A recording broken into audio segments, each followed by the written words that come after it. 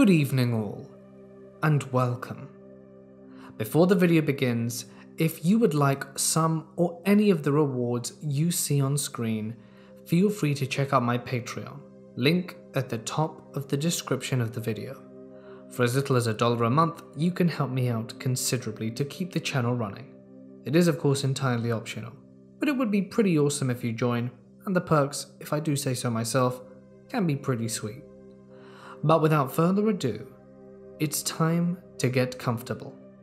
Hold on to your reality and let the darkness take control. My girlfriend and I have been together for about a year and never had any big problems. We are both pretty relaxed people and have never had a big fight, never had trust issues, the whole shenanigan. So one day I was out in front of my apartment building smoking a cig. This was before we lived together. I had seen her the night before, had a nice dinner, and gone out to a bar, then gone to my place, after which she took a taxi home. As I'm standing out in front of my apartment building, she pulls up in a taxi. I wasn't expecting her and was pleasantly surprised to see her. I put up my cigarette, smiled, walked up to her and said, Hey, what you doing here? She then scowls at me, slaps me square across the jaw, and I'm dumbfounded and a loss for words, so I kind of just look at her. She never said anything, just barged past me into the building. I follow her up to my apartment, asking her what was happening. The whole way she goes up, she goes into my apartment, grabs her bag and some of her stuff she left there, throws a few things at me, breaking a glass or two, and knocking down a bunch of stuff on a shelf. She calls me a pig, says she knows everything, and that I've broken her heart. I'm trying to figure out what's going on, obviously, and she stops on her way out when I touch her sleeve, glares at me again, and slaps me. She tells me something along the lines of, I hope I never see you again, and walks out. I followed her to the street, and she got in her cab and drove off. The street was pretty empty, and this was about 8 or 9 am. I watch her drive off, and at this point, I'm lost for words, scared, and sad. Then, as I'm watching the cab drive away, Someone hugs me from around my waist from behind. I turn around and it's her. In running clothes. She was wearing heels and a leather jacket before. And I went completely pale. Hi, she says, in her usual happy go lucky tone. Then she noticed my look and said, What's wrong? I had spun around. No taxi. It had literally driven away five seconds earlier. No way it could have turned in that time, and all the lights were red. I didn't say anything to her, I just ran upstairs. Her bag was gone, the things were still broken, and my door was still wide open. So I told her. We were both momentarily confused. There's no way I could have mixed her up with someone else, and she's an only child.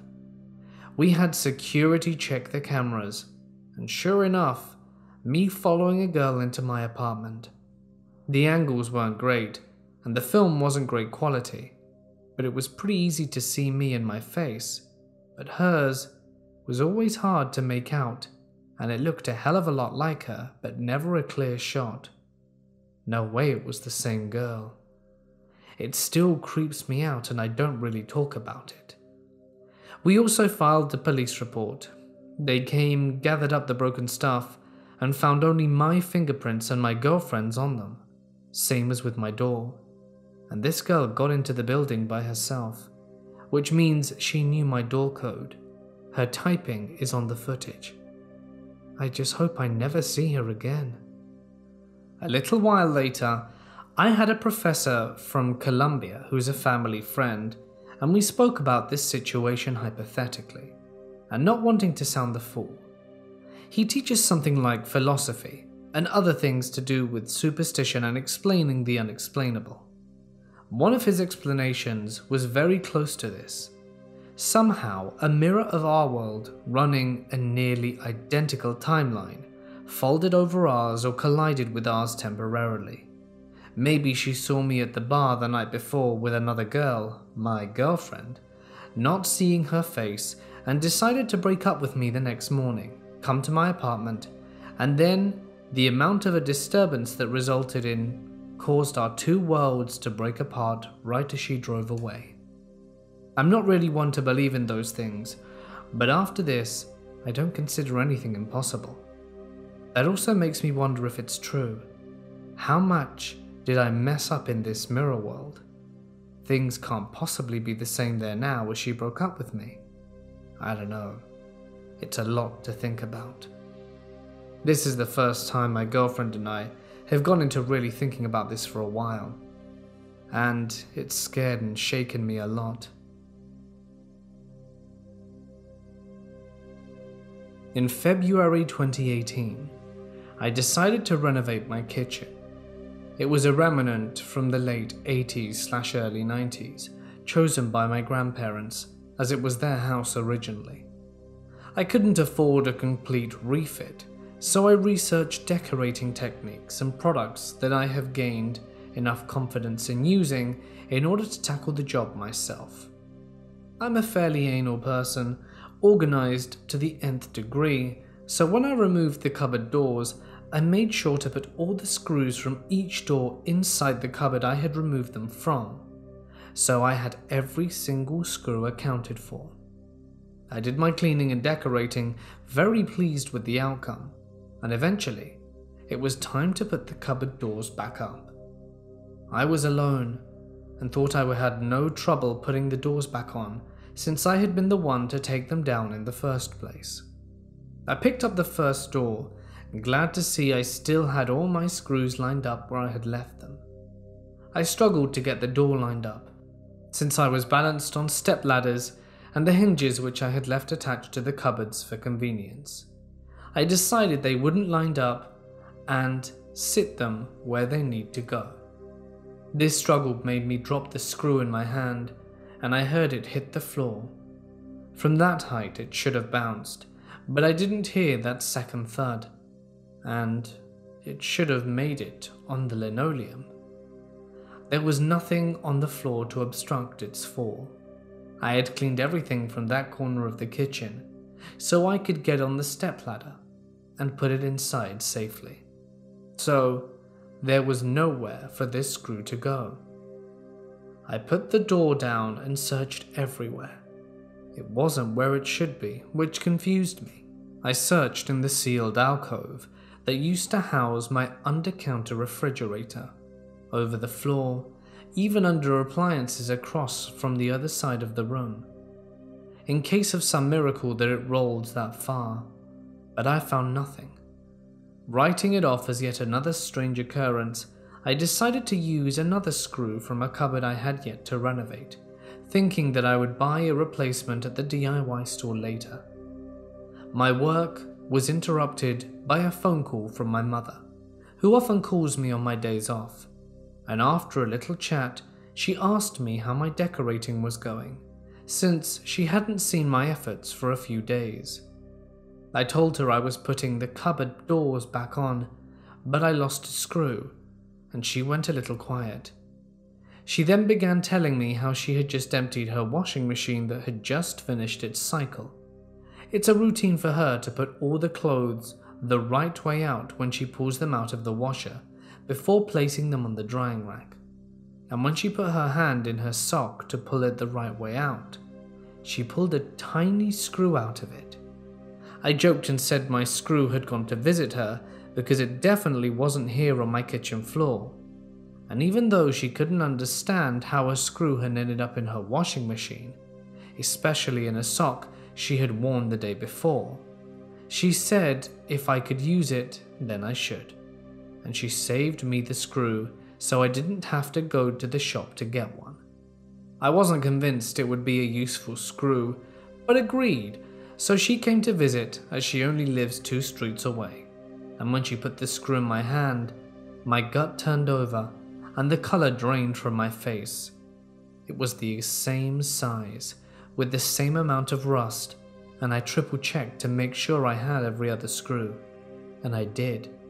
And nothing could explain how a fairly specialized size of screw could end up in my mother's sock in her washing machine. There was only one explanation.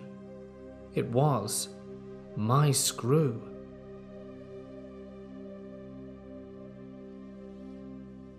When I was 18, I worked at my uncle's gas station. On Fridays, I would do the overnight shift. The story starts off with me by myself in the gas station. It's the middle of winter and it's about 2 am. Winter season is extremely slow. I haven't had a single customer in over an hour. I start to clean the store and make some coffee when a customer stops at the pump. The guy gets out. It's a short Italian guy wearing one of those Puma tracksuits with a wife beater under it and sporting some bling around his neck. He was driving a dirty old little car. I have no idea what type it is, and I just say to the man, How's it going? What can I get you? This is New Jersey, so I have to pump the gas. The guy reaches into his back right pocket and pulls out a money clip with all $20 bills in it. He looks at the price, then down at his money, and begins to count. I say again to the man, What's it gonna be? He looks up at the price, down at his money, and finally says, I'll have 22 bucks of the regular. While I was putting the nozzle into his car, I thought to myself, that's weird. $22? He clearly had plenty of money to make it even. But in the end, why should I care? So, as the car was getting its $22 worth of gas, I followed the man into the store. I stop at the doorway just to keep an eye on him, and he goes directly to the cold drinks, stops and stares at the first cooler in front of him. Then he looks to his right, then looks to his left, then turns around and walks out to his car. I was like, okay, weird, but by now the gas is done, and I walk up to his car, and then the man asks, How much do I owe you?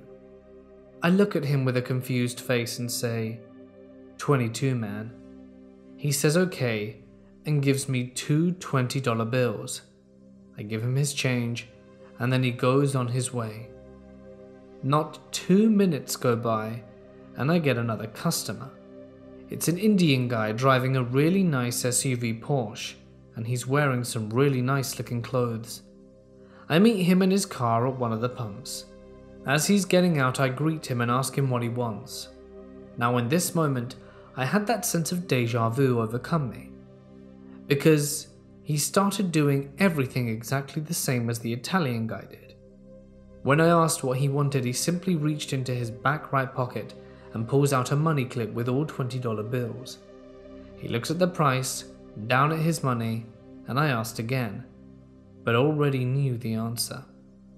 He looks at the price, then his money again, and says, I'll have $22 of the regular. Now at this point, I'm kind of freaking out. It feels like an episode from The Twilight Zone. The guy walks into the store, goes directly to the cold drinks, does the same thing as the Italian guy did looks right, looks left, turns around, and walks to his car. I'm thinking to myself, is this really happening? By now, the gas is done. I rack up the nozzle, and the Indian guy asks, How much do I owe you? I say with a gasp, 22 bucks.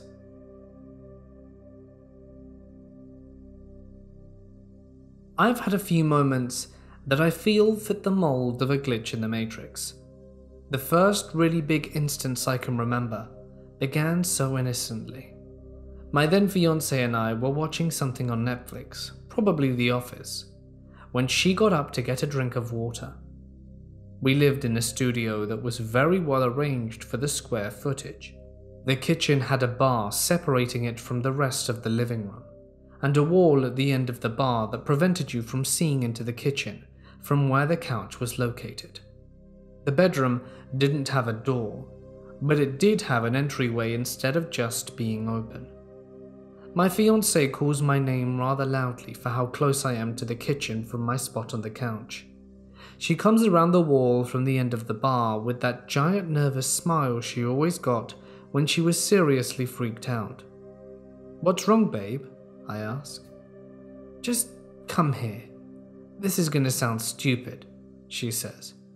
She pulls me up from the couch, and I follow her around the corner to the kitchen and up to the sink where she is pointing. Did we have one of those before? She says, pointing to a sprayer on our kitchen sink. A sprayer which definitely we did not have. It didn't even exist before she'd pointed it out. I feel myself go white, which may sound silly given that there was no danger. But I will tell you it was a very uncomfortable thought to know that something could just materialize like that. I pulled the sprayer out and tested it to see if it worked, and it did. I looked at Sandy and said flatly, Nope, it wasn't. I remember there being a little circular metal cover where one should be installed, and I'm pretty sure I asked the landlord if the sink had one when I saw the model unit, and he told me that it did not, but that he could have installed one if I wanted it. But he said that we could have one installed if we wanted it. I am sure I said something along those lines, but with a lot more stumbling around, as my thoughts were dumbfounded. I should also mention, no one had been to do any work on the sink at this point. Our garbage disposal broke a few months later, but there was no point at which a sprayer could have been installed. Sandy couldn't talk, and she began to panic. I sat down on the couch with her and turned on the show so that she could have something else to think about while we tried to figure out another way to prove that we were both just completely spaced out and that the nozzle existed. It took me about 10 minutes to remember that I had taken pictures of the apartment the day we moved in, documenting any damage so that we would not be responsible when moving out. Surely there must be pictures of the sink there, I thought. I flipped through my gallery until I came to the first of the 20 or so pictures of our studio apartment. About halfway through where the pictures of the kitchen should have been, five or six of the images had been corrupted and were just blank. No other pictures in my entire gallery had been corrupted, just the ones that should have shown our kitchen, and more importantly, the sink. I felt the colour drain from my face even more, if that were possible. I explained to Sandy what I found, and she didn't believe me until I handed her my phone. That probably wasn't the best idea, because I spent the rest of my night comforting her. I will say that around four hours later she randomly said, Oh, I remember using the sprayer, and promptly stopped being freaked out. My honest opinion, given how stable my now ex fiance was, is that she could not handle the idea something so bizarre could happen and fabricated a memory to ease her mind. That would not be the first nor last time she invented something happening to make her life a little easier. On another occasion, I was out driving with the same ex in the passenger seat. She had this thing where she liked to count how many dogs she saw in a day, which was admittedly pretty cute. Well, we saw this guy walking his dog. The dog was on a leash. We didn't get a good look as we were driving by at a decent pace, and as we passed the man, he passed behind a telephone pole just before an underpass. As he emerged from the other side of the pole, we both saw there was no dog with him as he came into view. There was a small wall alongside where the man was walking, and for the dog to have gone anywhere, he would have had to have run directly into traffic. Not only that, but the man just continued walking with no leash and no dog, and no panic of an owner or dog walker just having lost hold of their leash. We looked at each other wide eyed, and I asked her if she saw the dog, and she said she did, as she was just about to count it as it was the first dog she'd seen that day. She described the exact same thing I witnessed, that when the man crossed behind the telephone pole, the dog went behind him but didn't come out the other side. I'm sure everyone listening to this is aware of how hard it would be to miss a dog crossing behind a telephone pole. Even if it turned to line up with the pole. And why would it do that anyway? Anyway, I found it very disconcerting.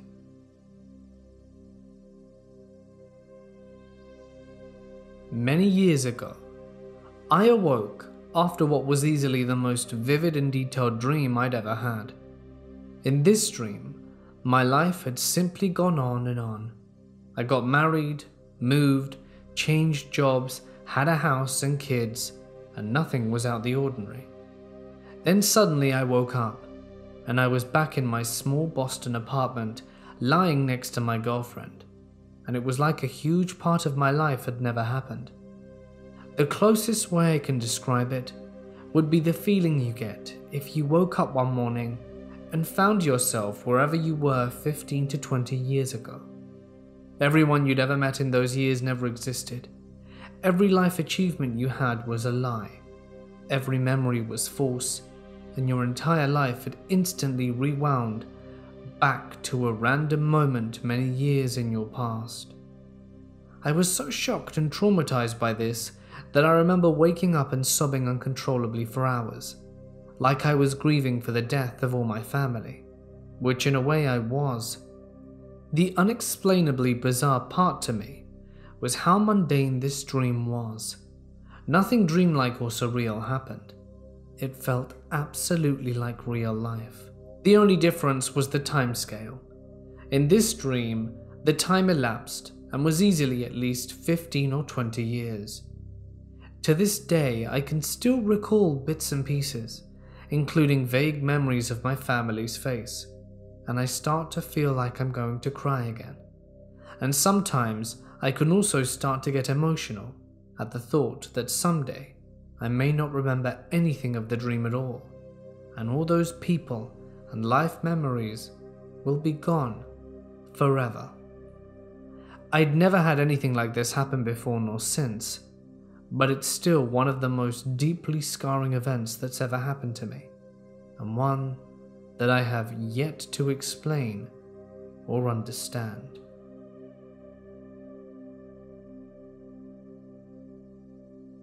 I was sleeping with my girlfriend in her grandmother's house. This night, she was crying because her grandmother had been acting very mean to her so I woke up from bed and tried to go downstairs to speak to the grandmother. I had to cross another room to get to the stairs. When I got in there, the place was dark as hell. I couldn't find the light and couldn't see my own hands. After a few steps, I couldn't even see my girlfriend's room, even though I'd left the door open. So I made my way to the opposite wall, where there should have been a door. But all I touch is wood. No furniture, no door, only wood everywhere I put my hands. At this time, I saw some grey smoke from the corner of my eyes, at the place where a mirror should have been. I started freaking out a little bit, and I decided to go take my phone into the bedroom to make some light. I couldn't see the bedroom, so I followed the cries of my girlfriend I couldn't call her because she was trying to sleep. The cries get louder. I find a door, I turn on the lights, and I'm not in my girlfriend's room. I'm in the stairs, at the exact opposite place I was supposed to be. This made no sense according to the directions I took in the room and the source of the cries. So I go downstairs to speak to the grandmother. Then I go back upstairs. This time the room wasn't so dark anymore. I could clearly see the furniture and the door of my girlfriend's room. Strangely, there was no wood. The walls were now stone. I really didn't know what all the wood was when I touched it before, since nothing matched the surface I felt under my fingers. I get in bed with my girlfriend and she asks me, Why did you sleep in the other room? I haven't, I said. Don't lie. I heard you in bed with the mattress squeaking. Turns out she felt like I had left for far longer than I had, and she couldn't see the door of her own bedroom during all this time. The day after, we tried to investigate the room, but there was definitely no wooden surface. We asked the grandmother, who told us several people had died in this room, as it's a very old European house. She'd also fallen unconscious twice in this very place, one year ago to the day. This happened some months ago, and I still can't explain what happened this night.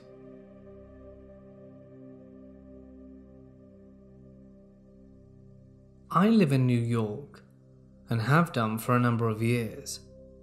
I spend most of my free time in Central Park, to the point where I could be dropped into any part of it and know where I was, and find my way to any other point in the park without issue which is why this is so disturbing. I was walking home the evening from the west side of the park. I had to walk directly across a wide open field to the east side of the park. No winding paths, no obstructions to get around. Just walk straight across some ball fields while looking directly at a distinctly ugly building on the east side. I walk for about 15 minutes towards the distinctively ugly building, which puts me on the east side of the park. I pass some guys playing baseball and a playground with a big concrete climbing thing, and walk a few more minutes and exit on the street. Immediately, I know something is wrong, but it's so bizarre that it takes me a minute to figure out what. The park is on the wrong side of me. Sure enough, I look up, and the sign says W100th. I'm back where I started, feeling incredibly disoriented and all around confused. Okay, that was weird. I must have just spaced out somehow and gotten turned around. Back into the park I go, and this time I make it a point to keep checking that the distinctively ugly building on the east side is in my line of sight and concentrate. I walk halfway across the field, checking the distinctively ugly building. I walk past the same baseball game. Distinctively ugly building, still good to go. I walk out of the field onto the path, past the playground with the climby thing, and follow the path out of the park. My heart sinks immediately. W 100th Street. I'm now legitimately freaked out. I can't decide if it's some weird House of Leaves kind of stuff, or if I'm having some kind of blackout, and neither idea are comforting. I try to logic it out and figure out where I could possibly have turned around, and I can't. I didn't walk back past anything, not the ball players, not the playground, or not the field. I seriously consider just taking a cab, but suddenly feel sympathy for every idiot horror movie protagonist because I just have to know. I walk into the park again, retrace my steps exactly, keep my eye on the distinctively ugly building just like last time, and walk past the same baseball players, the same as last time, onto the path and just past the playground with the concrete climby thing. I follow the path out the park and I'm on E 100th Street. I still have no idea how it happened. I've never been able to replicate it. Logically, there must be something weird about the line of sight or the little stretch of path leading out. Less logically, Olmsted was a creepy wizard who created portals, and I took a quick stroll through the Twilight Zone.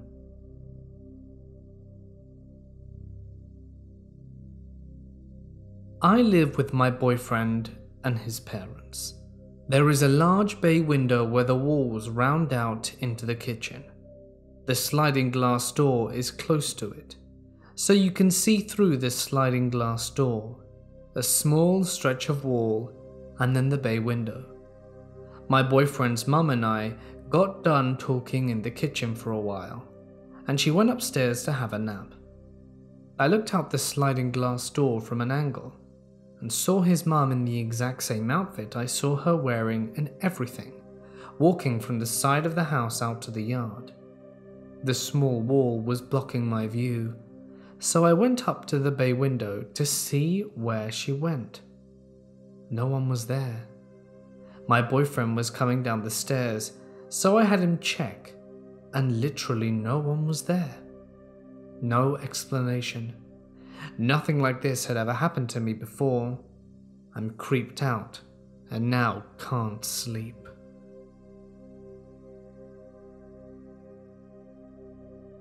I have three separate experiences to share. The first is when I was 15. It was an ordinary school day, and I was on the bus going to school.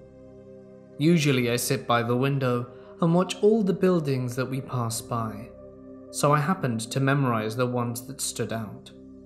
One of those was an old grocery store that is right next to a pet shop where I bought my dog. I know that once I pass those buildings, I am five minutes away from school, and that I need to get ready. So again, I was on the bus going to school, and it hadn't been 15 minutes since I boarded the bus when I looked out to see that we had just passed by the grocery store and pet shop. I was stunned and confused. I didn't remember dozing off or anything. Looking around, I realized I was the only one confused, so I calmed myself down. Once I was done arranging my stuff, putting on my necktie and such, I looked out the window, and to my absolute shock, we were passing the grocery store and pet shop again. The girl sitting next to me probably saw my face turning pale and asked me what was going on. Of course, I made up an excuse saying I suddenly felt dizzy, as I didn't want to sound crazy. The second event was at my best friend's house for movie night. It was a Saturday, and I planned on spending the evening with her and her brothers. Anyway, to get to her house, I have to ride a train. My stop was on the 12th station after I initially boarded the subway, and it was a bit of a habit of mine to stop what I'm doing every time the train stops so that I know where I'm currently at. I was on my fifth stop back, and then, as usual, I turned my eyes from my phone to the doorway to see where I was. It was the seventh station. I waited for the doors to close, then I looked down at my phone again to continue reading. A few minutes later, the train slowed down again as it reached the next station. Once it finally stopped the doors opened, and I realized I had reached my destination. I even blinked twice to ensure I wasn't seeing things, but sure enough, we were really here. I scrambled to get my things and ran out the doors, and when I finally calmed myself down, that was when the shock came. How in the world had I managed to pass five more stations without noticing? I told my friend about this one once I reached her house, and she mentioned that it was something like a glitch in the reality. It kind of annoyed me to see that this amused her, to know that I experienced something like it, but nonetheless, I ignored it and we went on with our day. This third experience happened in my own home recently. I usually wake up early to prepare breakfast for my younger siblings, especially if our mum is away on business trip. It's my obligation as the eldest after all, and my youngest sister Mari usually wakes up at around 7. Just before I finish preparing breakfast, and she has the habit of asking loudly, What's for breakfast? That particular day I woke up extra early, but started making food nonetheless. I thought that if I finished early, I would have time to play video games for the rest of the day. I finished cooking around 6:30 and just as I was about to clean up, I heard footsteps coming down from the stairs. It sounded like the other foot was being dragged as the person walks, much like a zombie. That instance, I knew it was Mari. She's the only one who walks like that in the mornings. Sure enough, as if on cue, she asks from the doorway, What's for breakfast? My back was turned, but I still answered her. Eggs and pancakes. I know you and Dina like them. Then I heard a small hum in response. When I turned to look a few moments later, there was no one there, and there wasn't a sign that anyone had been there except for me. A chill ran down my spine, and at first I thought I saw a ghost. But then I remembered what my friend had told me about the glitches in the Matrix, and I thought this was another one of those. It was nonetheless very confusing and creepy.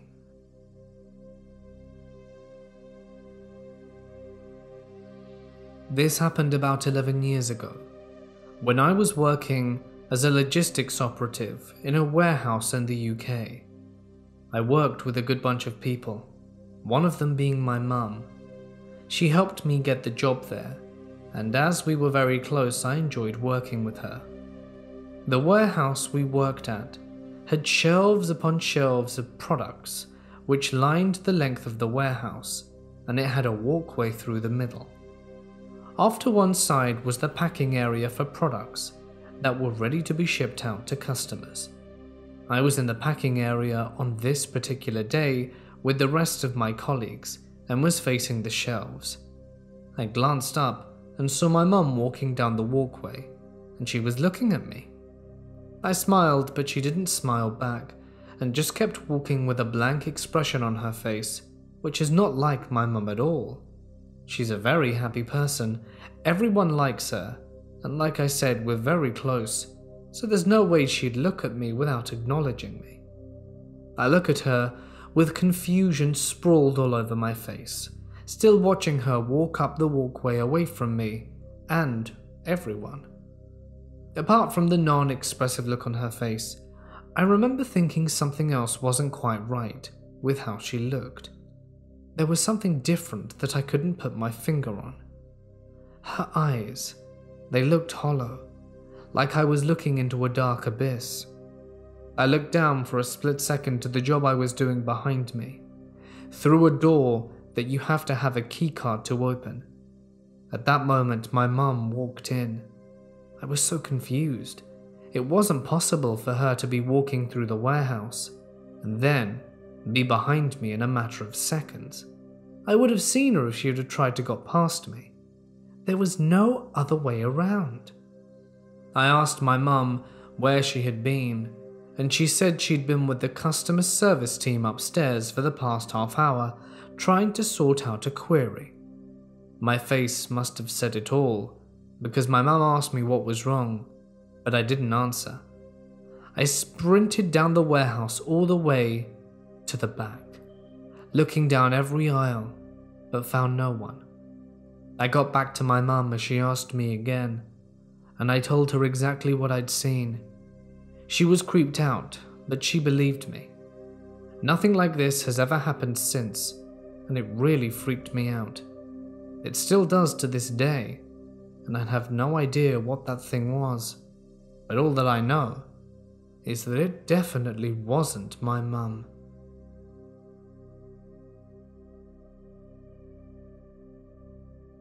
We arrived at a Canadian roadside camping ground in BC. When we got there around 10 pm, it was full of people. Big trailers, big four wheel drive cars, some RVs, the whole list of usual suspects. Nobody seemed to really know each other. It was just people like us traveling through. We had a long ride behind us, pitched our tent, and went to sleep. We set an alarm for early the next day to maybe catch some early wildlife and get on the road before everyone else. The alarm was set at 5 am. When we woke up, the entire campground was empty. Not a trace of anyone. No trash anywhere. But then again, it is Canada. And when the park ranger came around to collect the overnight fee, we asked him what was going on. He looked at us like we were seeing ghosts.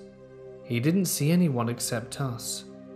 They might have left the campground before we did all quiet like but we're both light sleepers, and that's unlikely. To this day, we can't explain what happened.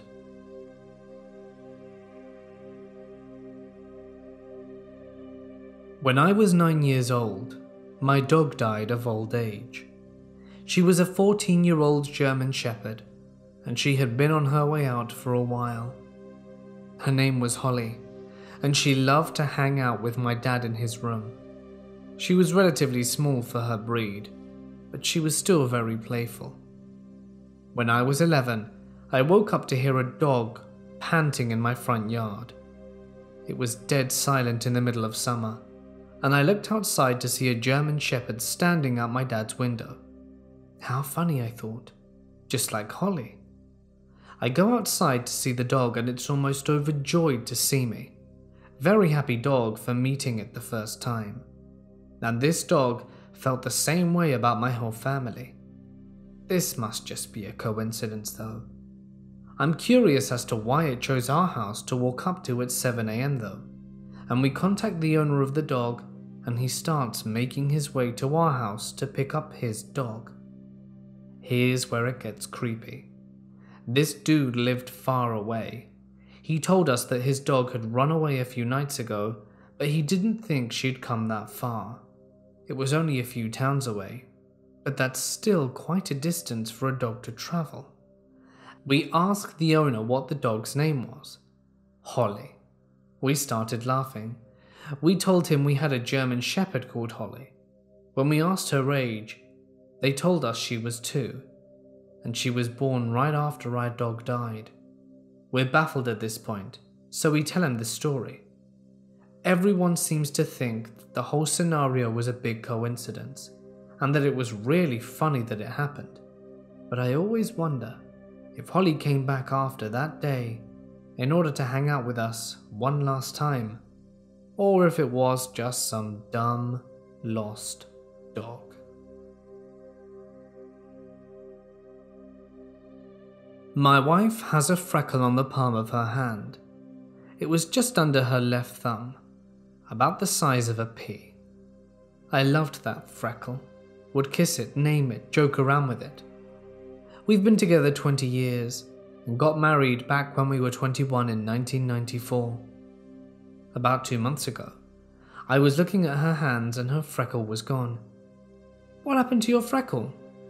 What freckle? she says. I get a little freaked out and say, The one you've always had on the palm of your hand. I grabbed her hand and looked closely, and there was a faded scar where the freckle was.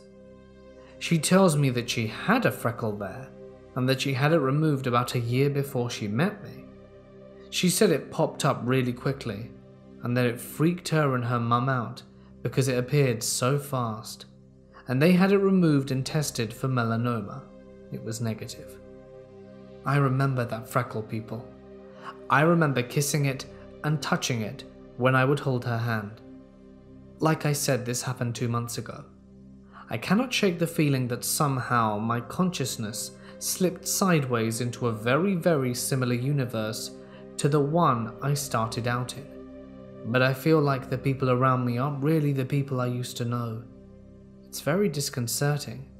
And if I didn't have really awesome compartmentalization skills, I could see this as really driving me crazy in short order. I like to be impulsive at night, and I don't mean break into buildings impulsive, though I have been there too. This time it was just to go for a long drive, clear the thought kind of situation. Me and a friend hopped into her car and drove out of town in an effort to end up in the middle of nowhere, which isn't hard living here in Australia, as most of our landmass is just forest land and desert once you leave civilization. So plenty of space to find yourself lost in. We kind of expected to get lost partway through the drive, of course. That's half the fun. What we didn't expect was after driving through Cali North, we found ourselves in the middle of nowhere, on a road caged on the sides by snow white trees that often looked to be glowing in what was extremely low moonlight.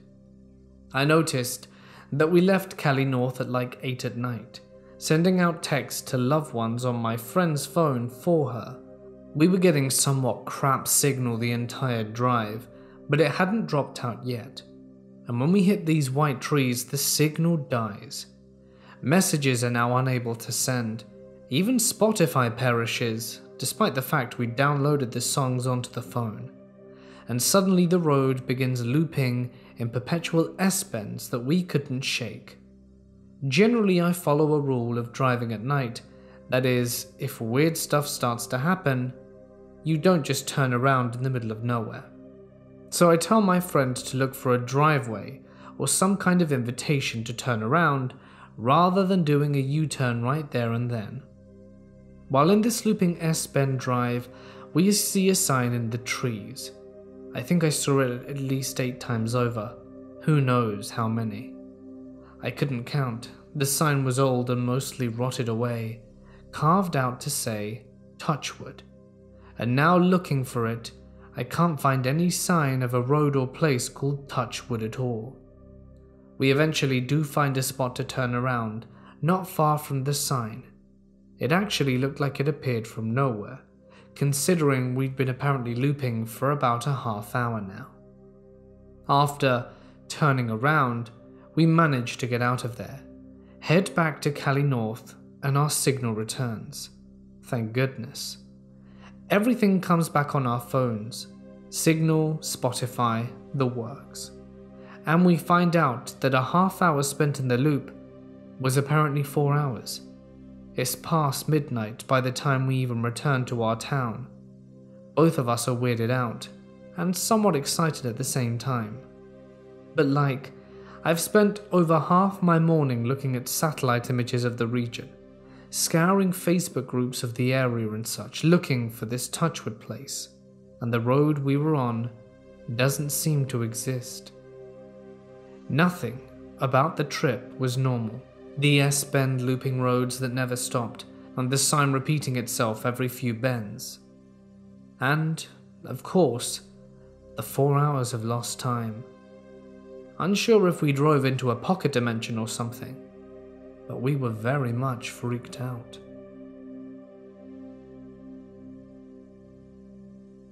When I was in middle school, starting 7th grade, my sister told me she ran into Rudy, who was wondering how I've been, and if I was coming back to our middle school after summer. I had no idea who Rudy is. My sister thought she knew him, my friends knew him, and apparently he was one of my best friends, but I didn't know him. I met him for the first time in 7th grade, and he just kind of hung around with me and became part of my friends. My friends didn't seem to not know him and treated him like he was part of the group. My sister said that he told her of the times my best friend and I, and him, hung out at the pool or played video games. I recently asked her if she had ever seen me hung out with him before 7th grade, and she said she didn't know, but that he knew so much about me and even recognized her as my sister that she assumed that we were friends. I honestly don't know who he is. I lost contact after freshman year, but it's always creeped me the hell out. Maybe I was friends with him and completely forgot about him, but I seriously doubt that. Who the hell is Rudy?